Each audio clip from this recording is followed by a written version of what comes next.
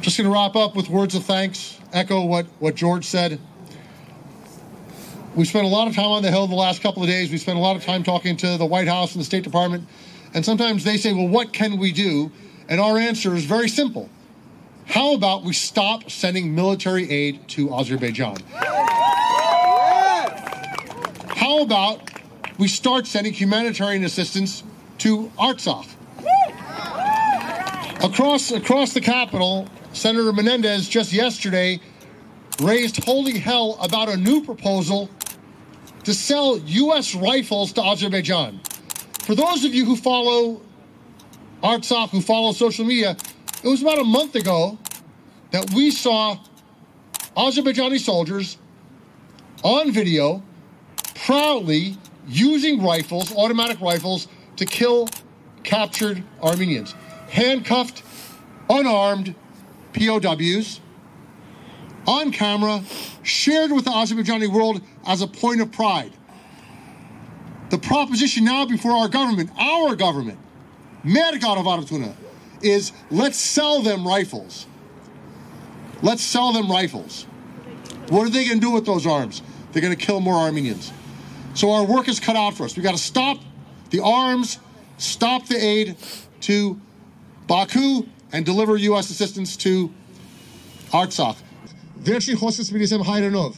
We have heard a lot in English today. Yergu хоскесем хайранов. Uh, Make enk hajol vortin hayaskin yergor panaga. Yergor panagne. Make Artsakhim fine. Artsakhim fine. Get the isor mer yefbaner kunir Artsakhim et. Çenrar Russian Ashkarin cannot speak to the world in the way that they might like if they don't have the connection to the world because they're blockaded.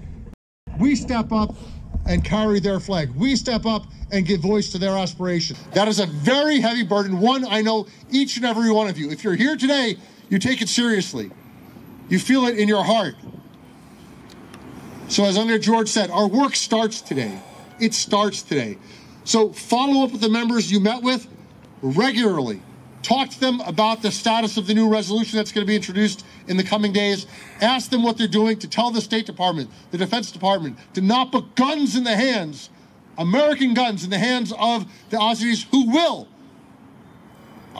with utter certainty, use those weapons to massacre, to kill, to maim, and torture Armenians.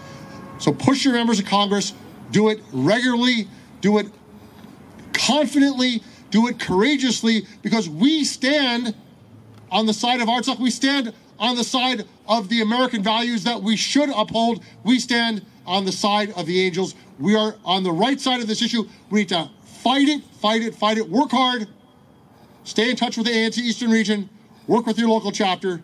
Thank you all for being here.